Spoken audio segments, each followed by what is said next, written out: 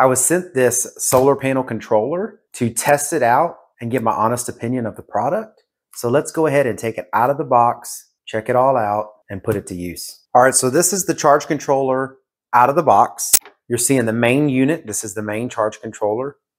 This comes with also a sensor. This is a temperature sensor probe that plugs in to the bottom of this controller. This is some mounting hardware. So if you want to mount it to some sheetrock or wood or something, it comes with the little anchors and the screws to do that. Then it comes with a manual. There's a lot of good information in here. This is a 100 amp system. So that means the max ampage that's going to go through this unit is 100 amps. It can also go up to 48 volts. So if you look on the side of this unit, it just gives you a quick reference. So based upon how you're setting up your batteries and how you're doing your solar panels, you're going to have a specific amount of wattage that this controller can handle. You got to understand how you're setting up your system so you can get the max usage out of this controller. This is an auto switching 12 volt, 24 volt, or 48 volt system.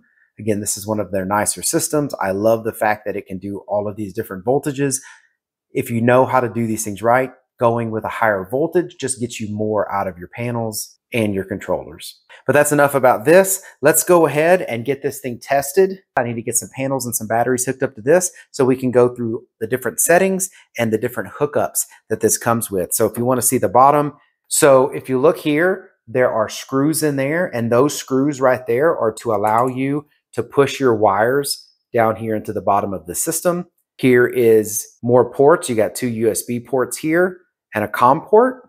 Here is your temperature sensor port.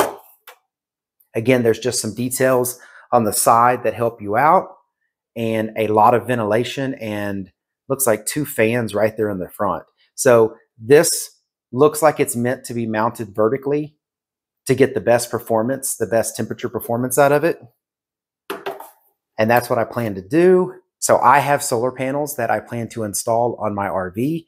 And this right here is going to be a great controller, I feel, to run those panels. But we're going to do some testing with the panels and the batteries just to see what I can get through this. All right, so this is what we got going on here. You see that I'm pumping in about 79 to 80 volts. Now we don't have a ton of ampage coming in right now because the sunlight right now is not optimal, but I'm mainly just trying to test to make sure this controller's working well and it's working the way I expect it to with the panels. This thing flips back and forth. You can see the battery's 100% and it flips back and forth to the different views. So on the top left here, you see the voltage. As you see up here, it's going to flip through. It's going to show you that my batteries are in pretty good charge state.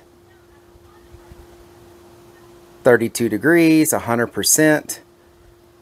And then here's the load voltage, 55.2. No amps. I'm not pulling anything out of load right now. 55.2 volts is the battery voltage. Now, there are some settings that you can do here. This button here, if you want to click through, you'll see that it's blinking. It actually lets you use the plus and minus to set the voltage to stop charging the voltage to start charging and the voltage to turn off load when the batteries get too low. So that's all protection there for your batteries. You don't want to overcharge them. You don't want them to get too low and overload them. And all of that setting is here for you to do based upon what type of batteries you have and what their voltage is. It also has a setting up here where you can set its intervals on when it's going to be charging.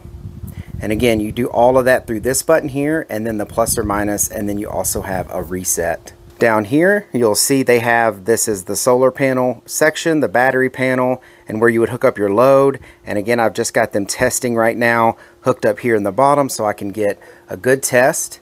I've used my multimeter here to make sure that I'm getting proper voltage to the batteries in it for a charge state, and that's doing good too. So I think everything seems to be doing the way it's supposed to be doing, and I'm pretty happy with the results. Well, I hope this video was helpful. If it was, please give it a thumbs up. If you haven't subscribed to the channel, if you would do that, that really helps me out. Thank you very much for watching. I appreciate it. Y'all take care.